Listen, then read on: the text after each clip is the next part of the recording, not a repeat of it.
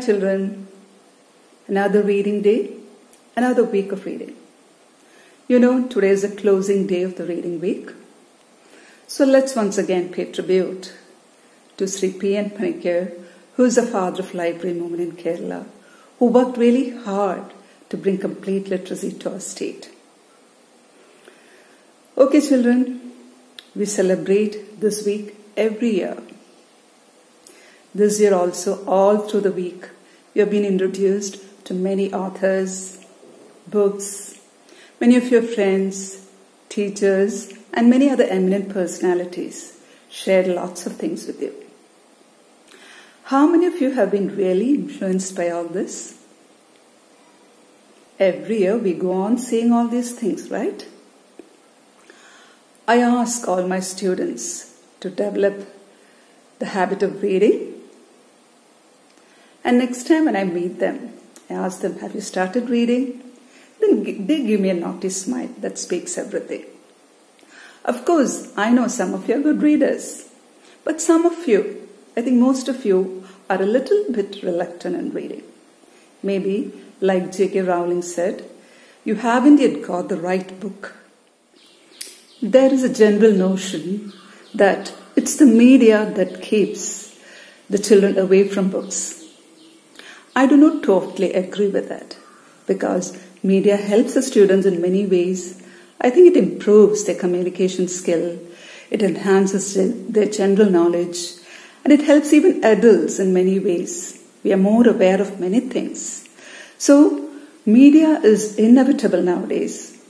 Recently, I happened to come across a humorous statement that said, Mobile phones were not allowed in schools, but now all the schools are inside the mobile phones. That's true, right? We cannot underestimate the importance of media now. We have to move along with that. So the only thing is, our students should be properly channelized to use the media. They should not be addicted to that. We should lead them and channelize them in the right manner. They should be tactfully led to the world of reading. Once they understand the value of books, the fascination of reading will never leave them. Reading maketh the full man, says Francis Bacon. Reading is to the mind what exercise is to the body. Joseph Addison's words. According to Stephen King, books are uniquely portable magic. Yes, every reader is a leader. According to Harry S. Truman, all readers need not be leaders, but a leader is definitely a reader. Yes, children, a reader will always stand out in a crowd. I'm not elaborating.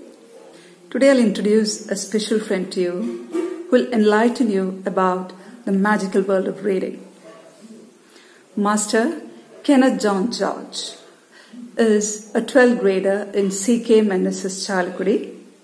His proud parents are Dr. George John, an orthopedic surgeon, and Ms. Linda Joseph, who is a renowned journalist. Kenneth was also a normal child who did not much like reading. But once he was open to the magical world of reading, he became a voracious reader. Now, he is the proud author of seven books. Can you believe it? And he's a state winner in essay writing, all because of his reading. Let us welcome Master Kenneth John to share his experience on reading. Welcome, Kenneth. It is not true that we have only one life to live. If we can read, we can live as many lives and as many more kinds of lives as we wish. Hello everyone, my name is Kenneth John George and I'm a 12th grader of CK MNSS Chalakudy. As a voracious reader, I'm highly privileged to talk about the importance of reading.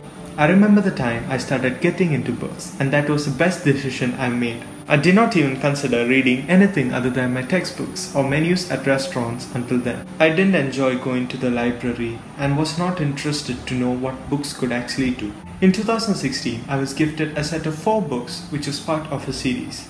To be honest, I was upset and disappointed.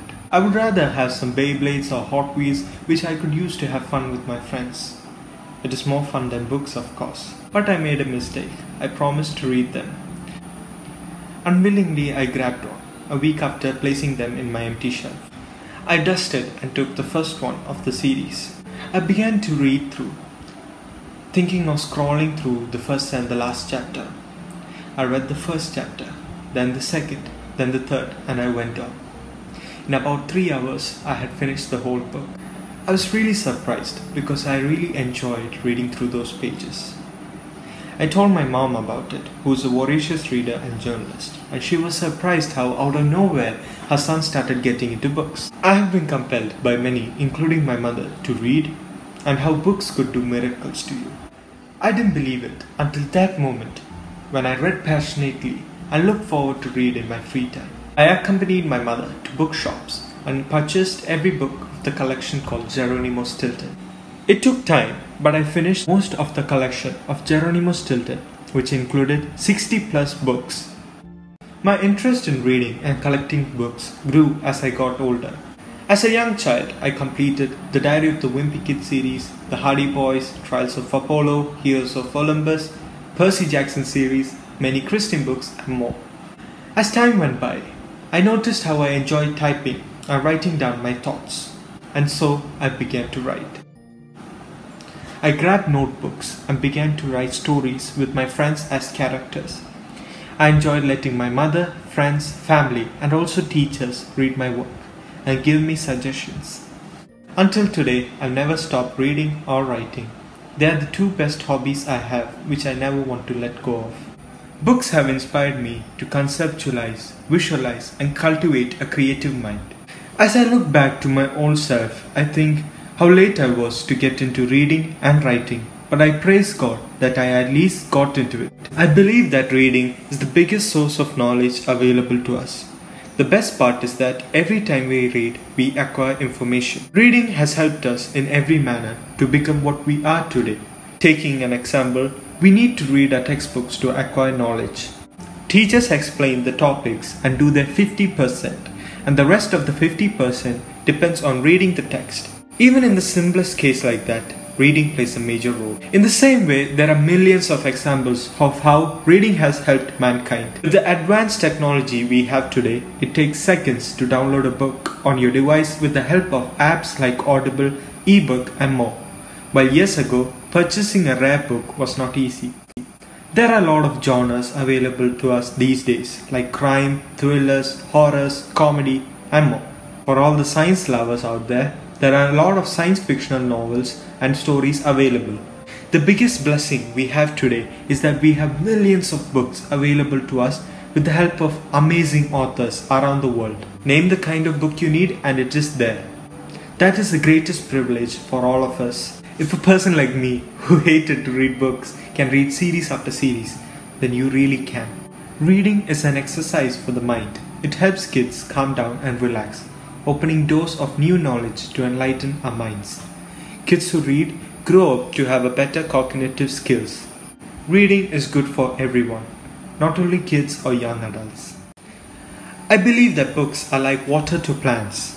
They help us grow into the best of ourselves vocabulary, skill, intelligence, and more are cultivated with the help of reading, and books can be the greatest source of daily information in our lives. Along my journey as a bibliophile, I've written and completed seven books and more truncated fiction novels which are not published yet.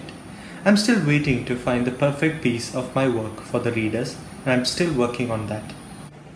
I would like to quote the lines of Mr. Shashi Tharoor, which I felt was really inspiring and relatable here. The great joy of reading is the joy of discovering the story, new words and ideas. Reading gives you the pleasure of concentration. Books can take you to the other world. Reading is a way of learning how to write. I believe that literature and writing are intimate arts. With writing, you express yourself in words as much as the way in which you talk or speak. When my friends started reading my story and found those exciting, I began to believe in myself. Friends, I recommend you start with smaller books, then upgrade along the way. Trust me, there's a magical feeling about reading books. Research the type of books you want to read and select the best one. I know how happy you're going to feel when reading is an everyday hobby. To all my friends who are planning to become published writers one day, I recommend you start right away. Write down your ideas and always think from the reader's perspective. We want them to enjoy every word that they read. The time we have now is precious and using it is the best you can do for yourself. So develop your ideas and provide them to the world to read. It is important to meditate on your ideas as you don't want to stop in the middle of a masterpiece. The question you should always have in your mind is that will this be interesting to the reader? And hesitation can be a bad sign. So it's important to meditate on your thoughts and ideas. I wish you all success and happiness. I rest my words. Thank you for having me with you and have an amazing reading week.